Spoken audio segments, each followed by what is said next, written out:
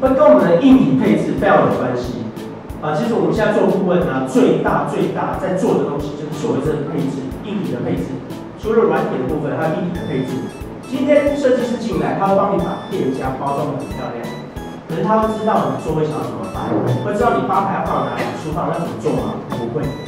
甚至什么，我今天设备它的所有用电量，他不会知道。我的水哪边进水，哪边排水，要怎么样去评估，他不会知道，因为他们着重是在包装的部分。他可以帮你把店做得很漂亮，可是它可能不好用。啊，举一个很明显的例子，W Hotel 大家都知道，设计非常非常漂亮，对不对？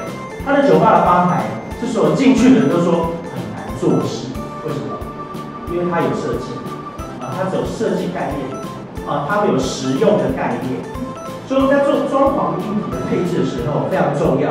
通常，如果你自己不了解这些，记得找一个好一点的设备商。